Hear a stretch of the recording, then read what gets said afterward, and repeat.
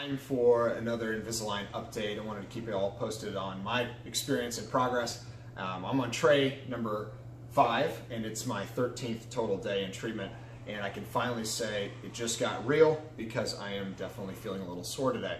So I'm sure everybody here in the office, including these ladies trying to get selfies of me, yes, yeah, probably are tired of hearing me talk about my uh, sore teeth today. So I have definitely been a little sore. Um, not unbearable, haven't taken any medicine, but I can, I can relate. Um, while I'm confessing things, I thought I might all throw this one out here, and I know this is going to shock a few. I, I think I had a patient today said that that's jacked up in response to this, but it's just being real. And I, I don't floss. I don't floss very often, at least. I, I floss, I probably should floss every day, like I tell my patients. Um, but I, I struggle. Struggle is real with that. I just, I'm not great at it. I'm trying to get better, but definitely during Invisalign, I've been better than normal because uh, just honestly, just feels good to, to floss your teeth and get that all cleaned up. So, um, and then the last confession, I'll throw that out there. Amanda's can't stop laughing, but I might as well let her once again be captured. So she hates feet, and I just happen to be um, anti shoes. I despise shoes. If I could wear sandals all day, I would wear sandals all day. Matter of fact, if I could be barefoot, that's what I would do all day.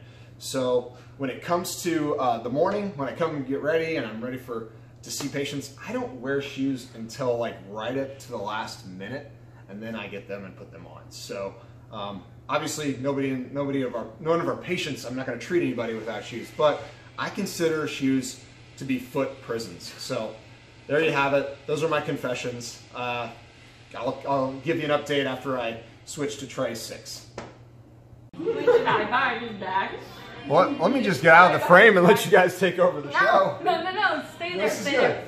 No, stay there. I had a plan. We're gonna do a cheer. This is a really good plan. Yeah. We're gonna do the cheer I just did. Let's hear it.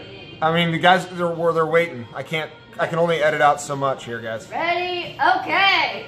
Go innovative. Go fight, win against the cavities. Those are sin. We love to fix your fillings and your crowns. And then um, when you're done, you're gonna be down with the innovative team. The innovative team. That's Go. that's good. I guess. All right. Sorry about that. MGM. We're the MGM. So apparently there wanted to be an, an audience. Oh, it's now that now that we're recording, they don't want to be uh, in the video. All right. See you later. Heather's like, I'm out of here, dude.